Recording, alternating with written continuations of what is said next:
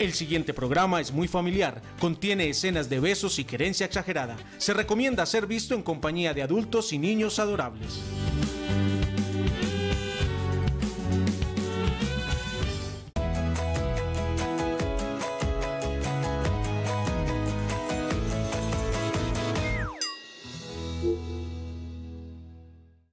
Nos unimos en un arrullo para abrir juntos un camino. Yo te ayudo el tuyo, tú haces más feliz el mío. Y entre dudas, llanto y caídas, entre risas, besos y abrazos, juntos nos gozamos la vida paso a paso, construyendo desde el amor, paso a paso, para hacernos la vida mejor, paso a paso. Ocurre una cosa graciosa con las madres y los padres.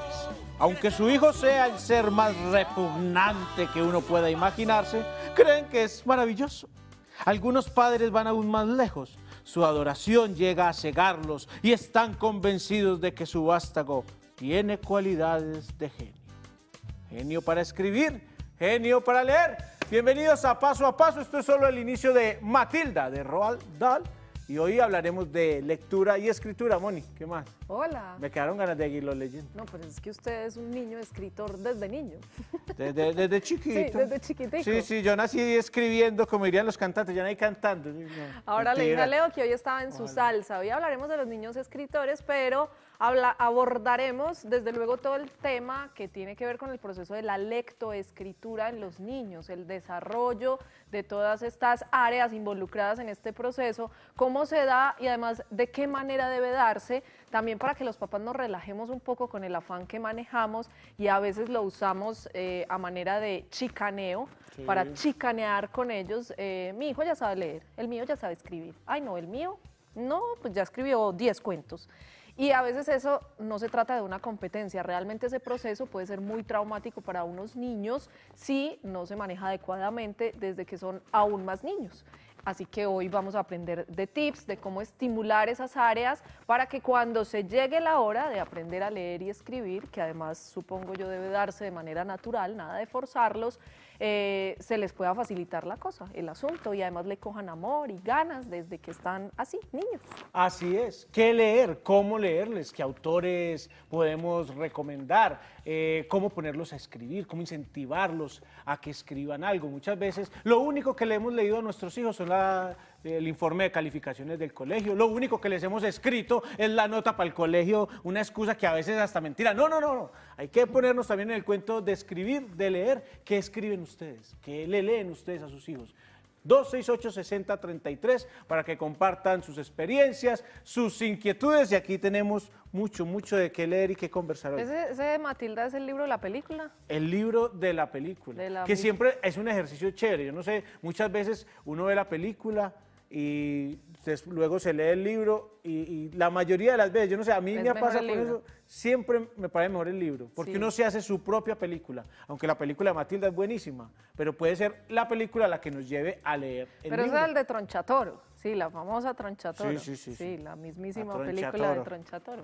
Bueno, hoy tendremos aquí Vida Real y experto que nos ayudarán un poco a contextualizar este tema y a sacarnos de tantas dudas a los papás que ya empezamos desde muy tempranas edades a involucrarnos con este tema. Todo por la presión social. ¿Qué tan bueno o qué tan malo es? Enseñarles desde muy pequeños a relacionarse con las letras, desde qué manera y eh, forzarlos, como les decía ahora, a veces a leer de manera anticipada. Ese será nuestro tema de hoy, así que muy invitados todos a participar. Como siempre, lo haremos de la mano de Tejiendo Hogares. Recuerden, arroba Tejiendo Hogares, que hay información ahí de mucha utilidad para todos los que amamos estos temas de la maternidad, la paternidad y la crianza de los hijos. Hay una cosa, Moni, cuando un niño aprende a leer, descubre todo lo que usted se puede imaginar. Y uno como padre descubre muchas cosas en ellos también. Cuando empiezan a leer, aparecen también muchas grandes citas pequeñitas de, de lo que hacen, de lo que van descubriendo, como, como esta. Mm, A ver.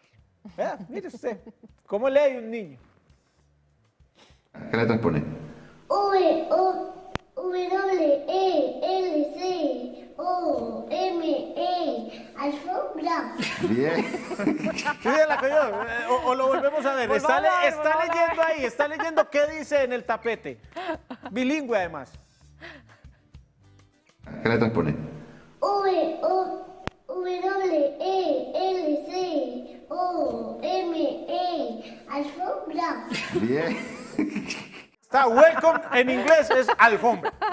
Ya, Claro. Es que además, y eso que queda hoy, ojalá al final de este programa como mensaje, hay muchas maneras de leer, ¿no? Él está leyendo, está asociando el contexto. Así es. Si hay unas letras sobre una alfombra y dice alfombra, basta. ¿Y quién le dice que no? Ahí dice alfombra. Dígale que no. Hermoso, y este video nos sirve para introducirnos entonces con nuestra vida real.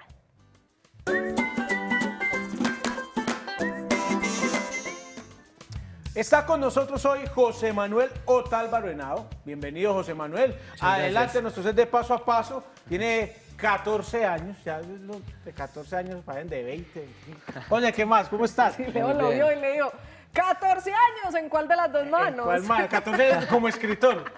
No, como escritor aún no. Ojalá lleguemos a los 14 años escribiendo, pero escribiendo unos 5 años más o menos hasta hoy. ¿Y cómo ha sido la historia tuya con todo este proceso? Devolvámonos un poco antes eh, del llegar a ser un niño escritor. ¿Cómo fue, o si tienes recuerdos de cuando aprendiste a leer y a escribir? Pues siempre fue un proceso muy bonito, muy chévere, porque además de eso tengo la oportunidad de que mis dos padres son docentes. Entonces la estimulación desde ese aspecto, todo el proceso que ellos llevaron desde mi crianza fue muy bacano. Eh, consistió mucho en la orientación más que en introducirme al mismo proceso de escribir o de leer. Entonces pues creo que eso ayudó mucho. José, puedo contarme la verdad. Uno cuando tiene dos papás profesores, aprende a escribir porque ellos le leen mucho a uno o porque lo ponen a dar muchas planas. Pues la historia de las planas, pues tiene cabida en mi Tiene, vida. tiene también, también. También, sí, también lo hacía. Pero más que todo es el proceso de hablar. La conversación creo que fue más fundamental incluso que la propia lectura en mi vida. El conversar con mis padres desde muy pequeño tuve esa facilidad y eso me, me ayudó mucho. ¿Qué fue lo primero que escribiste, si te acuerdas? Bueno, pues lo primero que escribí fueron poemas, ¿cierto? carticas a mi, ma- a mi madre, como creo que todo el mundo hace. Y eso fue con lo que empecé. Luego más adelante pues empecé a escribir pequeños fragmentos, frases, lo que escuchaba, lo que se me ocurría y empezaron a venir los cuentos más adelante. Pero escribías eh, porque te nacía, porque alguien te decía, mire, usted eso tan bonito que piensa, ¿por qué no lo escribe? ¿O cómo se dio ese proceso? Todo fue pues iniciativa mía.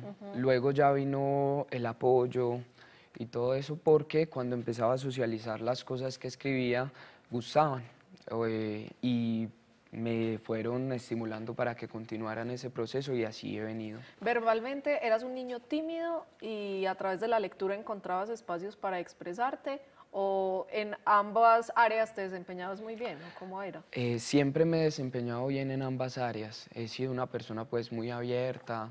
En realidad pues de lo que recuerdo nunca he sido un chico tímido, retraído, no. Siempre muy abierto, me gusta hablar, me gusta expresar. Mi vida es un libro abierto. como- Exactamente, sí. Podría decirlo así también. ¿Cómo llegaron los cuentos? A Los- tus manos, a tu imaginación. Eh, vi a mis padres, sí, ellos fueron los que me, me llevaron hacia, hacia ese mundo bonito de la literatura, quienes me pusieron los primeros cuentos en la mano, quienes me los leían, los compartían y a quienes les leí eh, por primera vez. José es ganador del concurso nacional de cuento de PM el año anterior. Con 13 años participaste enviando un cuento. ¿Ya habías participado en otros concursos enviando cuentos, obras literarias o participaste por primera vez y ganaste? No, no, no. Sí había llevado otros procesos en otros concursos, pero igual siempre he creído que la escritura es un proceso de maduración. Y creo pues que el año pasado, teniendo la oportunidad con EPM, fue ya la conclusión de esa maduración literaria, o por lo menos en los cuentos, que fue cuando tuve la oportunidad pues de, de ser el ganador. Pero sí, ya había tenido otros procesos en otros concursos. Digamos que muchos papás nos ponemos en la tarea de leerles, ¿sí? Y de inculcar tal vez la hora del cuento y encontrar otras alternativas ahora todos estos medios digitales eh, y, y refugio en los cuentos, ¿sí cierto? Y buscamos la manera de hacerlo, así como seguramente lo hicieron contigo. Pero ¿cómo se da el salto de leerles cuentos, de entregarles esos cuentos para que los disfruten, para que se los imaginen, a escribirlos? Que es tu caso. O sea, pocos dan ese salto. Yo creo que también va en parte lo que uno es, quizá en su esencia, ¿cierto? Porque creo que le debo mi manera de escribir, mi mundo de escribir, más que todo a, lo que he leído. Pues nunca he estado en un taller, o por lo menos en un taller formal, asistiendo a una escuela, sino que mi escuela han sido los libros y también lo que mis padres me han podido transmitir a través de la oralidad. Entonces, pues si me preguntas por el paso, yo creo que no, todo es un proceso y es más bien un puente por el que debemos atravesar en algún momento, bien sea que lo hagamos literariamente como en este momento lo hago yo, o sea académicamente como a todos en algún momento nos toca en el nos colegio. toca, es que ese es el problema, que nos toca. No nos Ajá. provoca, nos toca. Sí, cuando se, hace, cuando se hace por obligación, no- no, el, gusto no es, no es siempre el mismo. ¿Algún libro favorito, José, de los que tenés, de los que te has leído? Eh, sí, tengo un libro que me encanta, que es El libro de los abrazos, de Eduardo Galeano. Eh, Eduardo Galeano, pues siempre me he sentido plenamente identificado con él. Me gusta cómo escribe, me gusta la persona que fue, pues conmemorándolo ahora que falleció. Y ese... Que pensaría uno que no es literatura para niños o muy jóvenes. Hablando del autor, pues. A Eduardo Galeano lo abordé hace tres años con Las Venas Abiertas de América Latina, que es un libro bien pesado. Y desde ese momento me fascinó y lo hice. Y sí, eh, con él me fui. Ah, el que le parezca muy pesado también se encuentra digital, ¿no? Ya. Esas son las cosas de la lectura. Ahí está. Vamos a recibir a Claudia, que está en la línea, mamá de Matías. Claudia, bienvenida paso a paso, ¿cómo estás? Hola, buenas tardes, muy bien, gracias.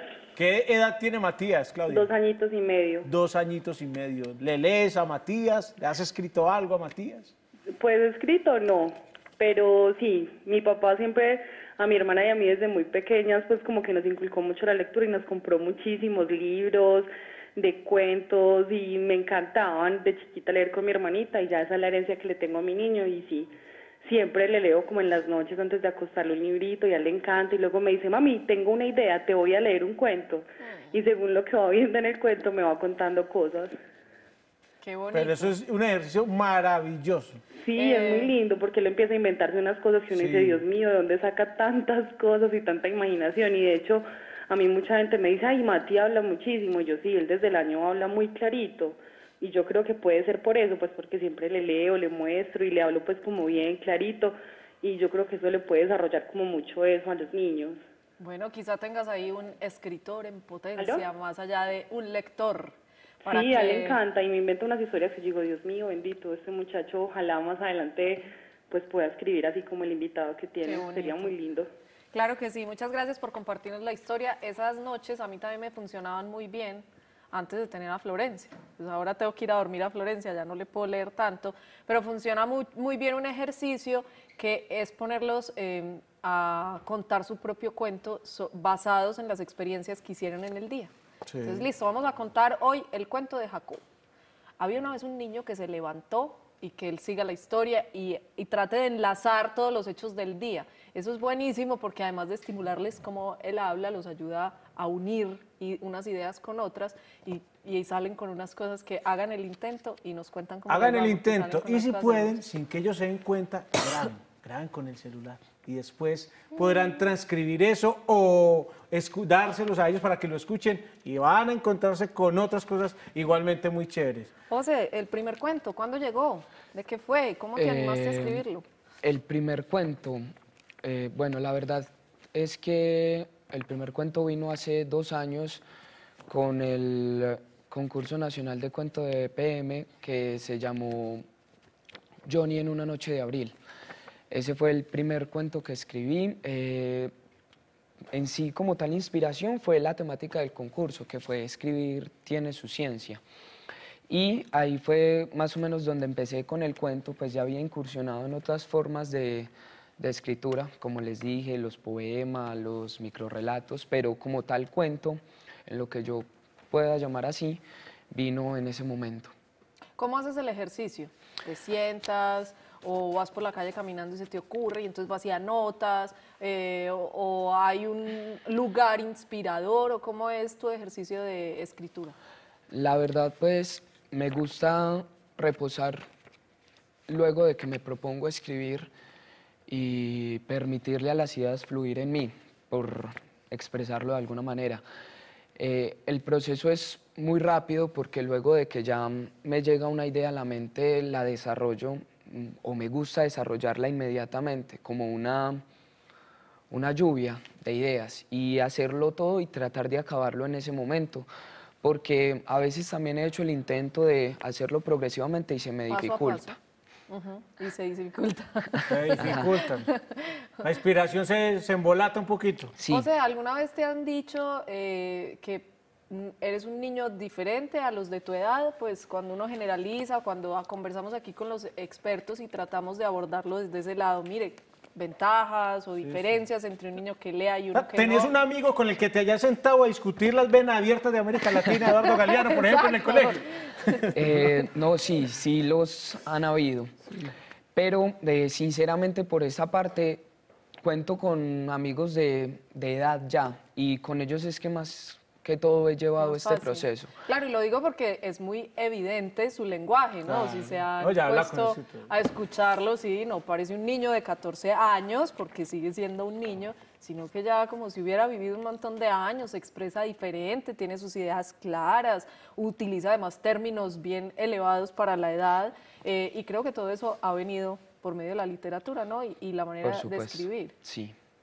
Todo eso se lo debo a las lecturas. Eh, ¿Qué resaltan de, de tu escritura? No sé, ¿qué es lo que más gusta? O quienes han sido jurados o te han leído, ¿qué es lo que más les gusta de la manera en la que escribes? Eh, bueno, en las personas que han tenido la oportunidad de compartir esos detalles conmigo, más que todo han sido mis profesores, ¿cierto? A los que les he compartido mis lecturas y todo eso. Ellos resaltan en mí la, la libertad que, que doy para la interpretación, porque me gusta también en el momento en que escribo dar la oportunidad de abrir el espacio, porque siempre he pensado que la literatura es eso, una abertura de un mundo en el que todos podemos entrar. Entonces, no me gusta como ser reduccionista cuando escribo, sino... Reduccionistas, ¿a dónde la leíste? Entonces, sí. Dejarle el campo abierto al lector para que se haga su, su propia historia también dentro del, del escrito. ¿Tienes alguna premisa a la hora de sentarte a escribir? Por ejemplo, yo tenía un profesor que siempre decía, uno escribe lo que le gustaría estar leyendo. La verdad, sí, sí creo firmemente en que uno debe escribir para ciertos públicos, porque no es lo mismo cuando le escribo, como manifesté anteriormente, una carta a mi mamá, o cuando escribo para un concurso, cuando escribo para el colegio, para una chica también puede ser. No es lo mismo. Entonces también es de pronto fijarse hacia quién quiero que vaya dirigido ese texto. Debe ser un enamorador este muchacho con las niñas, que les llegue un poema, imagínese uno a los 13, 14, 15. Un poema y bien escrito, con Oh buena my ortografía. Mejor dicho. José, pues muchas gracias por compartirnos tu experiencia. Todavía falta más, pero vamos a dejarlo para el final porque tiene en las manos el cuento ganador. Sí, aquí mm, lo ¿Qué se traje. llama cómo?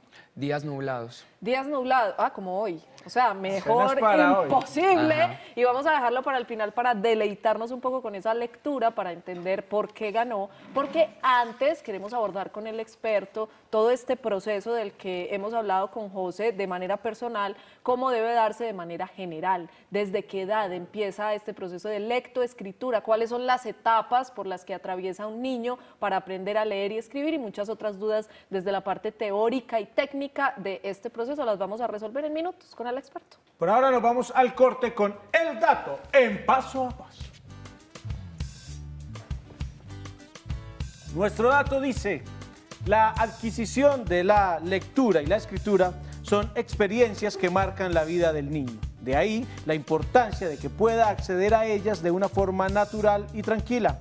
Leer y escribir se convierten en interacciones divertidas y placenteras, en las que el niño puede disfrutar de sus logros y aprender de sus equivocaciones.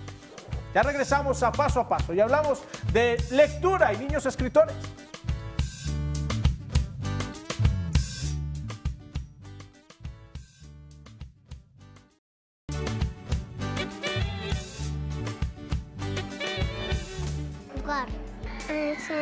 Ejercicio. Jugar con los amiguitos. Colorar con lápices con colores. Jugar. Me gusta venir a jugar con los- todos los amiguitos y a compartir los libros. Jugar. Jugar y comer. Jugar fútbol. El parque. Brincar. Participar, colaborar. Jugar. Leer cuentos. Jugar, leer cuentos, compartir los colores. Ahí está escrito compartir y jugar con los libros. Jugar, Eso, jugar, eso. jugar, jugar, jugar, jugar. Eso es lo que hay que hacer, jugar con y esto. eso es lo único que les debería gustar también, porque es que es la única manera de aprender. Bueno, yo no soy la experta, Leo. Jugar con libros, no, pero sí, hay que aprender a jugar con los libros, hay que aprender juegos de los libros, hay que hacer un juego de la lectura y de la escritura. Hoy hablamos de niños escritores, de lectoescritura de nuestros niños y nos vamos de una vez con nuestro experto en paso a paso.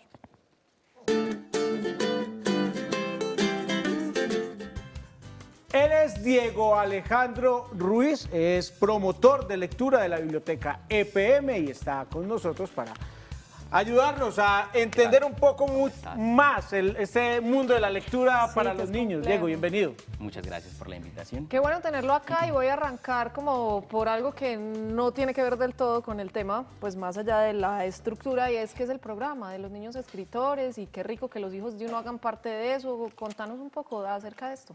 Ok, les quiero contar en primer lugar que la biblioteca EPM es una biblioteca pública espe- especializada y empresarial.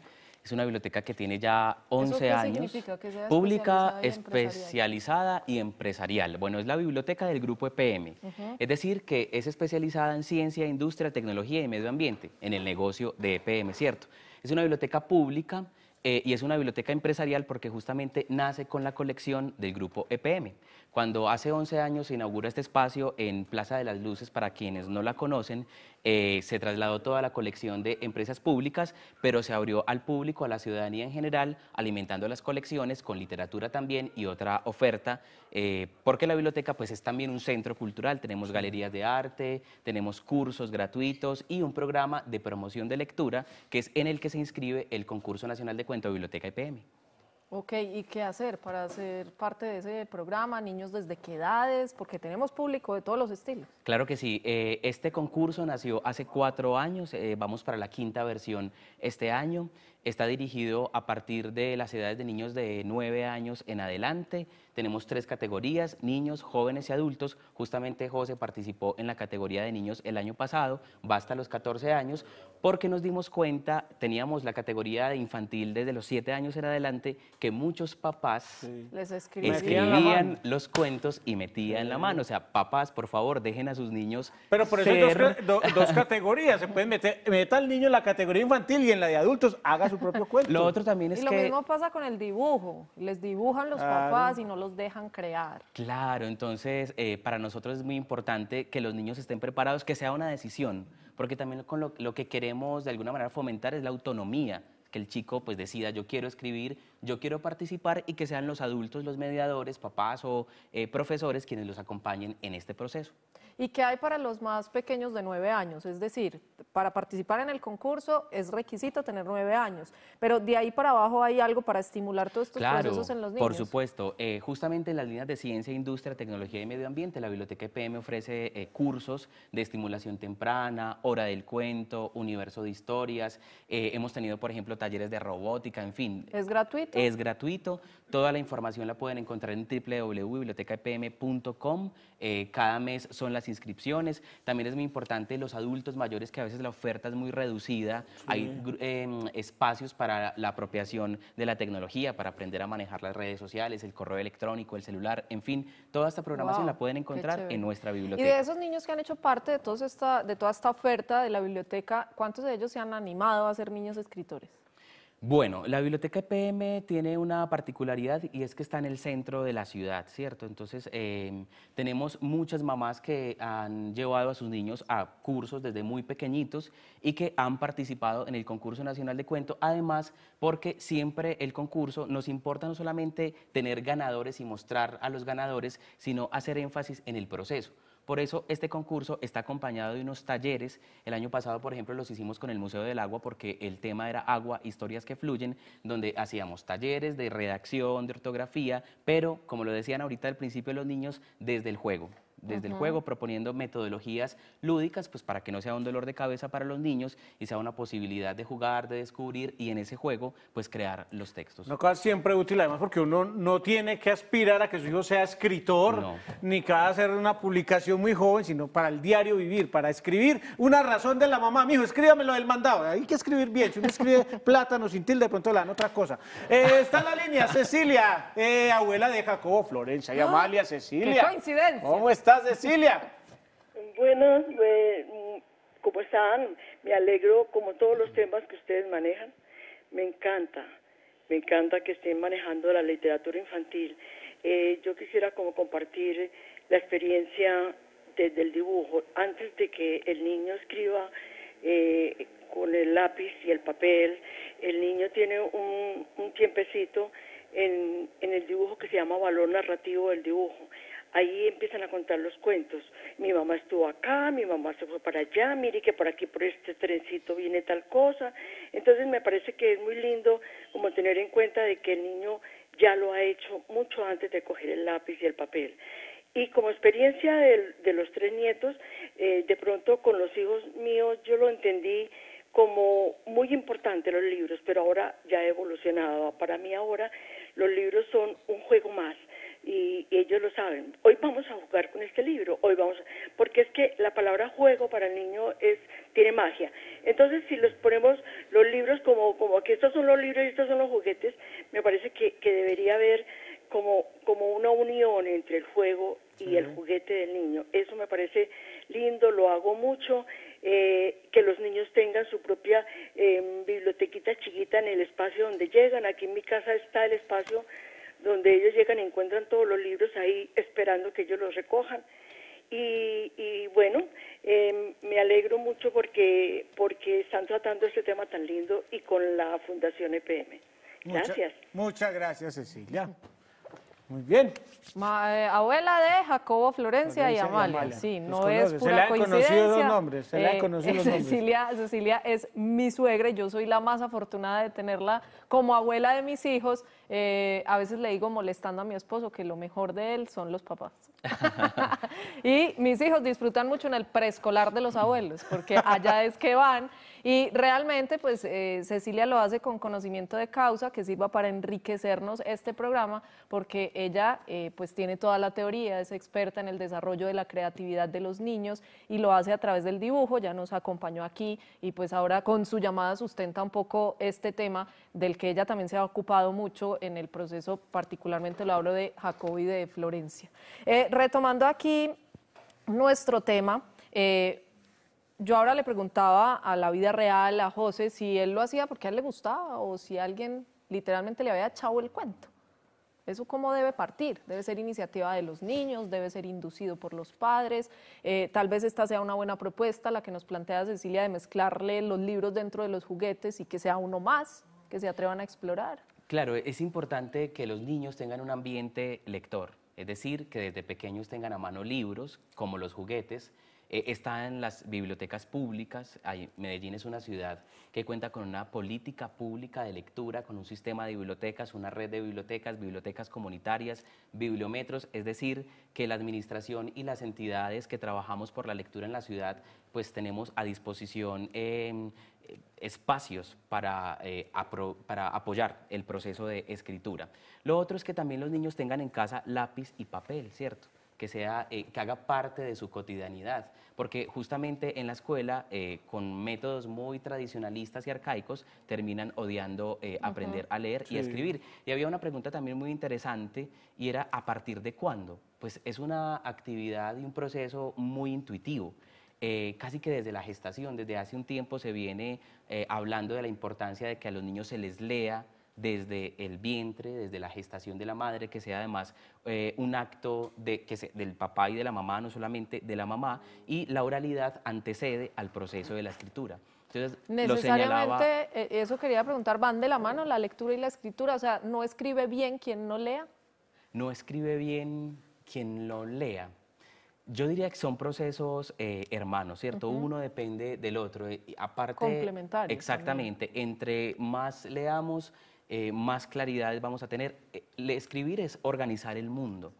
Te- en nuestra cabeza tenemos un mundo muy complejo y es complicado porque es poner el mundo en palabras, es darle un orden para que sea coherente y para poder comunicar. Y ahí viene otra cosa y otro consejo para los papás y para los docentes y es poner a los niños desde muy pequeños en actos comunicativos reales. Sí. Muchas veces los niños escriben para nada.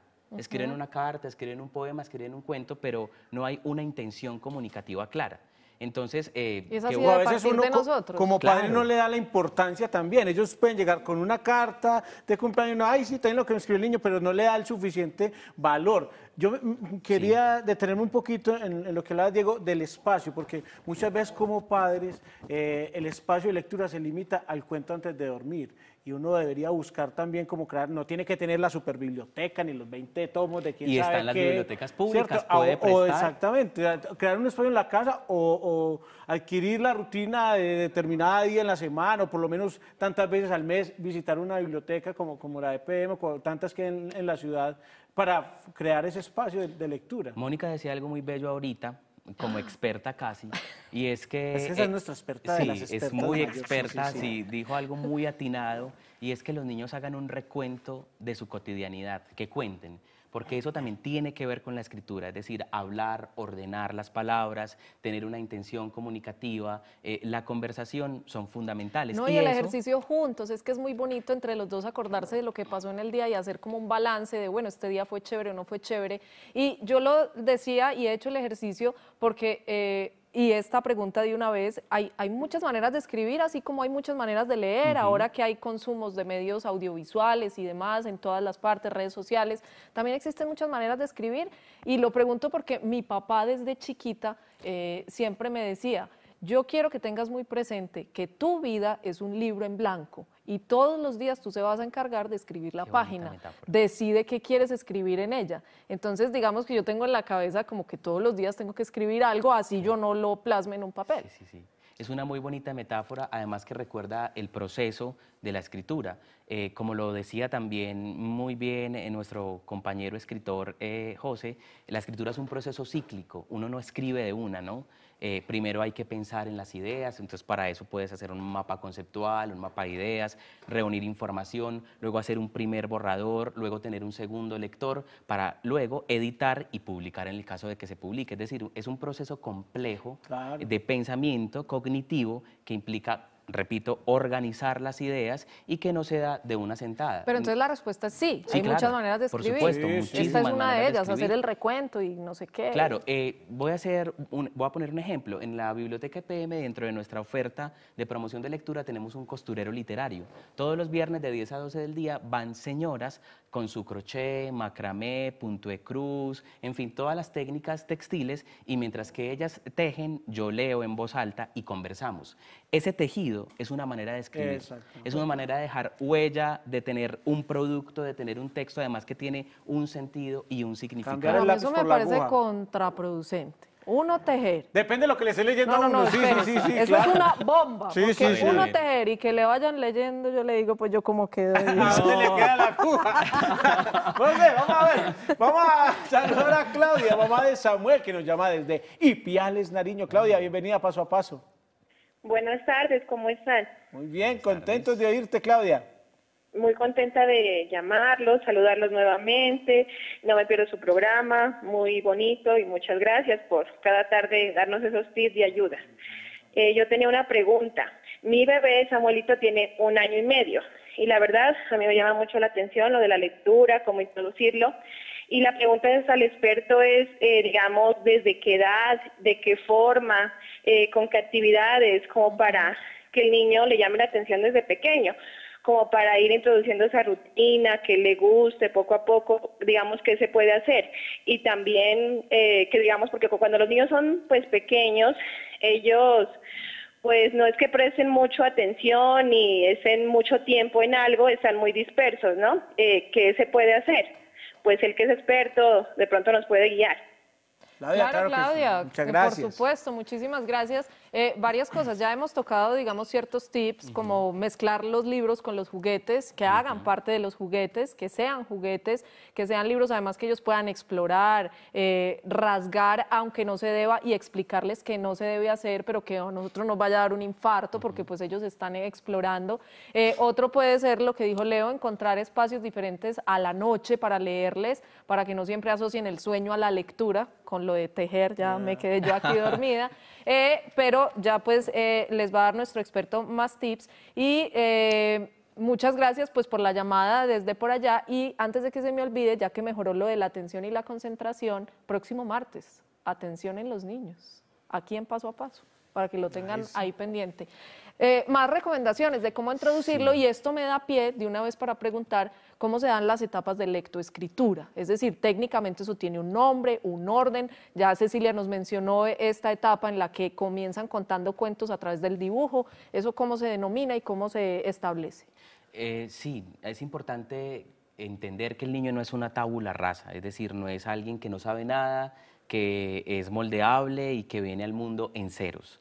Eh, por eso los niños cuando empiezan a hablar, cuando empiezan a garabatear, están dándole un sentido a todo lo que están viviendo en su mundo. Es muy importante saber eso porque todavía hay muchas personas que creen que, los, pues, que, que la letra con sangre entra y a que los niños hay que imbutirles todos los conocimientos y que no tienen ninguna autonomía, ni son críticos y ni están formando su subjetividad y en esa medida pues están ávidos de conocimientos y de contar lo que les está pasando también. Hay una... em, pedagoga que se llama Emilia Ferreiro. Ella habla de cuatro eh, etapas en la adquisición del código. Habla del garabateo, el presilábico, el silábico y el alfabético. Entonces, esto es en relación con que el niño va asociando eh, los grafemas, los sonidos y los significados.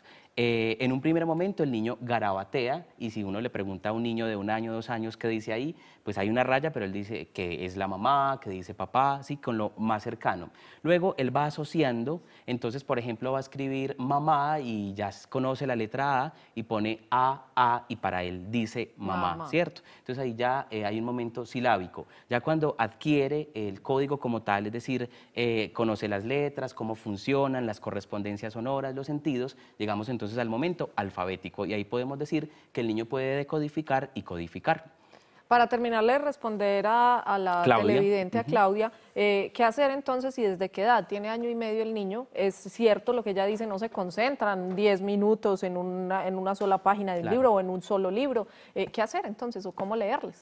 Bueno, es muy importante en la mm, primera infancia cantar, hablar, retomo el ejercicio que citabas ahorita, eh, y la poesía, porque los niños les interesa un poco la sonoridad del lenguaje y otra cosa y otra cosa es hablarles bien, hablarles muy claramente, ¿cierto? La jeringonza es decir, ¿cómo echa mi yu, yu, yu? Eso está, es- tiene mucho afecto y todo, pero va a confundir a los niños, entonces es importante hablarles claro, hablarles bien, directo. Eso facilita, y ahorita le voy a hacer una pregunta con lo de facilita, pero esto facilita el proceso de aprender a escribir, ¿no? Claro. Hablar bien. Por supuesto, sí, porque entonces el referente que ellos tienen es quiénes están cerca, los papás, los familiares. Si les hablan bien, entonces van a conocer y van a ampliar su vocabulario. eh, en esa medida va a ser mucho más están reconociendo fácil también lo que va luego al papel. Y en eso todos caemos en el error. ¿O quién no le ha dicho a Sí. un niño que el animal que va ahí es un guaguau? Y no es un guaguau, es un perro que hace guau. pero todo, ay, mira el guaguau, sí, el guaguau, y desde ahí empezamos Sí, a sí, caer sí. en el error. Es un-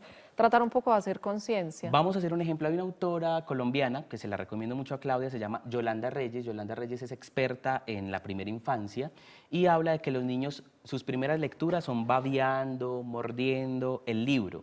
Hay libros para niños y literatura infantil. No necesariamente los libros para niños son literatura, ¿sí? Hay un tratamiento más... Lo que yo decía eh, ahora de poderlo rasgar y... Exactamente. No, y- y, y- hay libros que- para morder, libros para bañarse. Exactamente, es que a uno en la casa de niños le tocó el directorio telefónico nomás. Eso el único libro. Ahora hay, ni- hay libros para meter a la bañera mientras se va, con sonidos, con sabores. Interactivos, digitales. eh, Por eso yo siempre que necesito algo llamo es a Leo, no, no busco ninguna directorio. amarillas. y este que Bueno, nos vas a, eh, a a propósito, recomendar, hemos hablado eh, del juego todo el tiempo. Ese es un libro que se llama Juguetes de Palabras. Este hace parte de la colección de la Biblioteca EPM. Los invitamos para que disfruten de esa colección. Y eh, es un libro de un cubano que se llama David Chericián y hace rimas. Entonces, este se llama Oficios de un oficiero, ¿A este le de un Leo? oficiero y ustedes me van a ayudar. Eh, es- vamos a hacer la retaíla juntos. Hace primos el primero. Hace trovas el... Trovero, Muy bien. Hace casas el... casero, Hace cuentos el... cuentero, Hace sombras él, sombrero, hace plomos él, plomero, hace bolas él, bolero, hace puertas él, portero, hace tintas él, pintero, hace sones él, sonero, Sonero. hace cartas él, cartero, hace cuatros él, cuatrero, Cuatrero. muy bien, hace bombas él, bombero, hace potros él, potrero, hace plumas él, plumero, hace cantos él, cantero, hace locos él, loquero, hace agujas él, agujero. disparates compañero, dispara el disparatero. Eso está muy chévere, me hizo Juguetes de acordar. palabras de David Chericián. Esto es una manera de jugar con los más pequeñitos para que se familiaricen y sobre todo pues aprendan también a querer las Y palabras. usted se lo lee dos veces y ya lo dan de memoria. Ah, sí, además. Me hizo acordar de una grandecita de mi hijo mayor que le dije, Jacobo, ¿dónde compraste esa cuatrimoto? Y me dijo, en la cuatrimería. Perfecto. Así es. Nos vamos es. a la pausa justamente con una de nuestras grandes citas pequeñitas y ya regresamos porque aún nos queda un poco del experto y nuestra práctica prometida. Hoy tenemos esta de nuestras grandes citas pequeñitas. El papá está trabajando en casa y en ese momento, en la pantalla del computador, el papá trabajaba sobre unas infografías. La hija, Sara, Lucía, se acerca y se queda viendo atentamente la pantalla del computador y le dice al papá, Papi, ver dibujos es trabajar. Sara, Sara con Lucía. seis añitos, Otras pregunta y maneras de regaño leer. por ahí derecho. Otras maneras de leer. A propósito del tema, ya volvemos.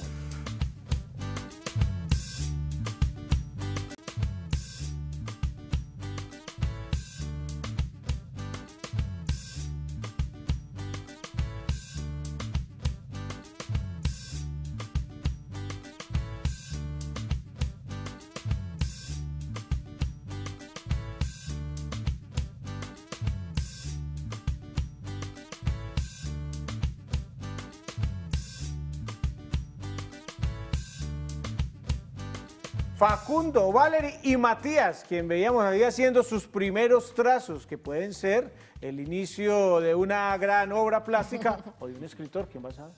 Pues por ahí se empieza. Por ahí según- podemos empezar. por el ahí garabateo se se Según lo que hemos conversado aquí, espero que quede claro que por ahí se empieza. Sí. Así Sí. que ah, si no lo tienen en la casa, ah, en el próximo mercado, papel y lápiz, hojas en blanco para que rayen, creen. Y que tengan a la mano siempre. Y si no las tienen, después no se quejen porque rayaron la pared. Así que a comprarlas, sí. Ellos buscan de alguna manera expresarse. Eh, dos preguntas tengo yo antes de ir a la práctica, no sé si Leo tenga otra. La primera tiene que ver con esas actividades eh, que les podemos ofrecer a los niños para que cuando llegue ese proceso de eh, lectoescritura, de aprender a juntar esas sílabas y que los fonemas, que a veces es tan traumático, pues no sea tan difícil, que, que lo hagan también y que fluya de una manera natural. ¿Qué podemos hacer de ahí para atrás? Bueno, en primer lugar, es no forzar a los niños, no transmitirles las frustraciones. No es fácil eh, educar y tampoco hay fórmulas para hacerlo, pero es importante que los papás en primera instancia respeten el proceso de adquisición del código escrito del niño. Algunos lo hacen más rápido, otros eh, más tarde, pero ahí van. Lo importante es acompañarlos y como hemos hablado y recapitulando un poco, pues que tengan a mano papel y lápiz, llevarlos a las bibliotecas, obsequiarles libros, leerles antes de dormir, leerles en una fila, en una cita médica, empacarle con sus juguetes algunos libros, eh, conversar mucho con los niños, hablarles de la vida cotidiana. Habíamos hablado también de que es el lenguaje y es transversal, llevarlos a teatro, llevarlos a llevarlos a cine y conversar mucho con ellos, sobre todo para que vayan despegando un poquito y vayan asimilando el lengua. mundo de las Cuando palabras. uno viaja con ellos, y luego porque fue, fue mi caso, eh, mucha gente creía que yo de niño sabía leer y no, era de, de mi casa al centro de la ciudad en un bus, uno se iba, le iban diciendo, "Ah, aquí queda tal cosa, aquí queda tal cosa, aquí queda tal cosa, y la gente creía que yo leía todos los avisos. Pero no, uno ya tenía la imagen acá y eso pasa mucho con Eso los niños y es un juego que mucho. uno puede hacer con, con Mire, ellos. a cuando- Jacobo, si usted le Las muestra los etiquetas, nombres las cosas. escritos de los planetas, él le dice qué dice ahí, pero no porque sepa leer, sino porque ya tiene Ya lo asociados con Saturno, Urano, Y todos. es un método que se llama el método global en la adquisición del código. Pues a nosotros nos tocó Nacho Lee y nos tocó juntar palabras, ir de la unidad mínima de significación, que es el poema o el grafema, a ir a un texto completo.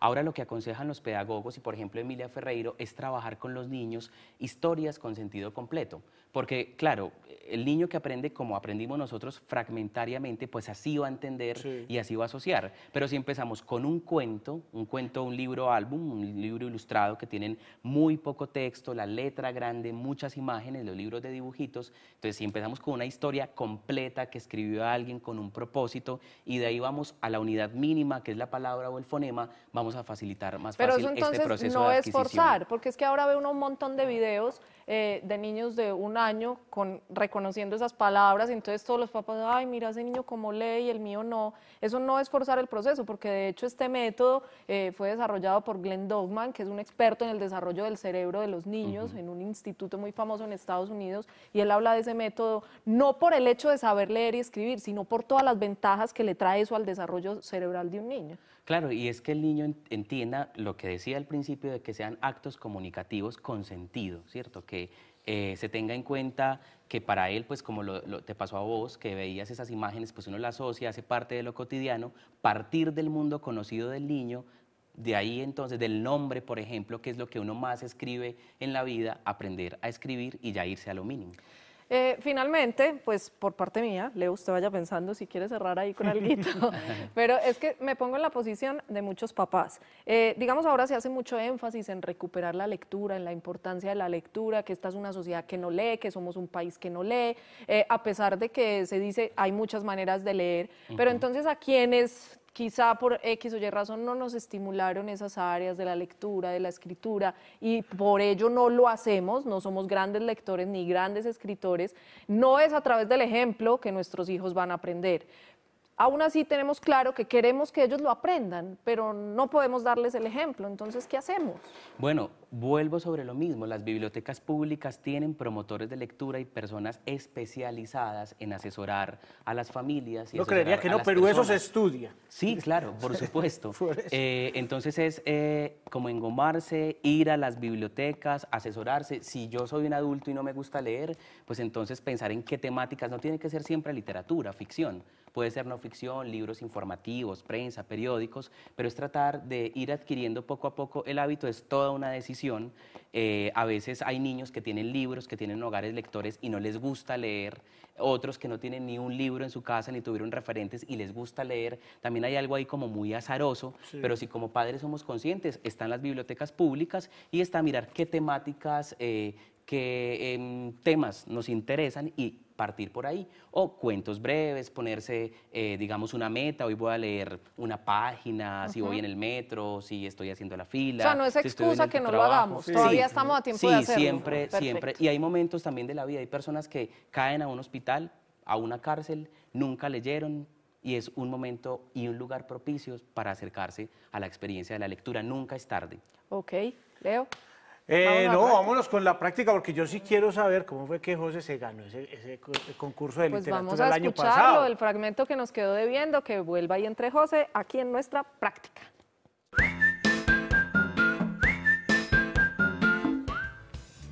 Bueno, pues entonces Les voy a compartir un fragmento de lo que fue mi cuento que se llama Días Nublados. Eh, dice, sospecho que ella no abandonará mi costado en un buen tiempo, pues ha dejado caer la penumbra sobre sus ojos y creo que dormirá. Al final es lo que me toca, lo que tenemos como seres humanos. Una multitud de efemérides de las que somos testigos a diarios, abrir puertas, cerrar ciclos, romper, alimentar o crear estigmas. Quien se atreve, quien lo intenta, será acreedor del éxito, no importa cuán difíciles sean las adversidades que tenga que combatir.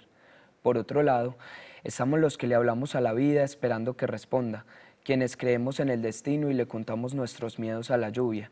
De nosotros me es difícil hacer una lectura, pues siempre permanecemos sin ir al encuentro de nuestras propias metas, sino que pretendemos que la esencia del mundo nos alcance en su trasegar. Mm, Y si queremos leer el cuento completo, porque queda uno medio Claro, antojado. pueden mirar el portal de la Biblioteca EPM, www.bibliotecaepm.com. Ahí está el micrositio donde están albergados los ganadores del año pasado, que además se fueron de viaje por Colombia. Fue su premio.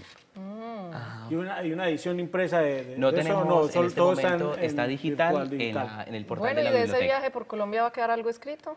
Eh, pues sí, eh, he tenido la motivación y me he propuesto escribir algo sobre la experiencia tan bonita y tan chévere que tuve a raíz de este Envidia, concurso. Me voy a poner a escribir.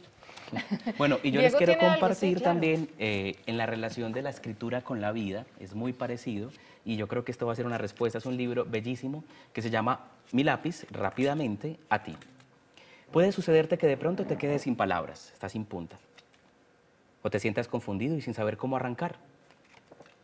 Comienzas a dar vueltas mientras te devora la ansiedad, el lápiz mordido. Te sientes atrapado y te pones tan negativo que ya no quieres escuchar, entonces Deja atrás los malos momentos y busca ayuda. Déjate, despójate de, lo que no necesitas y conserva lo que más quieres. Aprende de lo que has vivido, lucha contra viento y marea y busca nuevos colores. Para construir una vida mejor, encuentra la felicidad hasta en las pequeñas cosas. Desiníbete, sé más natural y piensa en grande. Atrévete a darlo todo, no le des la espalda al porvenir. Y lo más importante, nunca olvides quién eres. Virginia Piñón, editorial Calibroscopio. Mi lápiz. Uno para ser promotor de lectura necesita un bozarrón de eso. No, no, Moni. Necesita. Porque estoy aquí como una serpiente encantada, así, oyéndolo leer. No, tranquila, no, no. ahorita se queda leyéndole Matilda, por No, no, favor. lo leíste muy rico al principio. Diego, Gracias. muchas gracias, José. Felicitaciones. Gracias, por compartir la experiencia. Esperamos que este espacio sea eh, motivación para muchos padres que sé, que nos siguen, que nos ven a diario, encontrando nuevas herramientas para crear, crecer, acompañar niños mucho más felices. Y pues qué más que la lectura y la escritura. Hay que eh, a veces motivarlos a dar ese paso para que no se queden en la lectura. Pues yo le decía a José ahora, son poquitos los que se atreven a escribir. Muchos los que leen.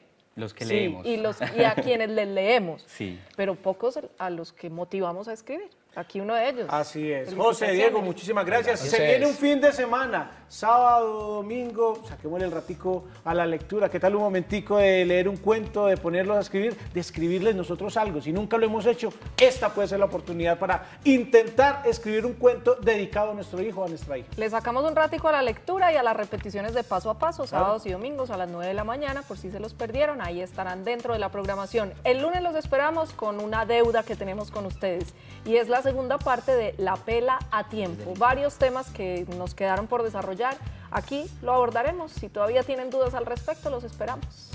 Chao. A veces se topa uno con padres que se comportan del modo.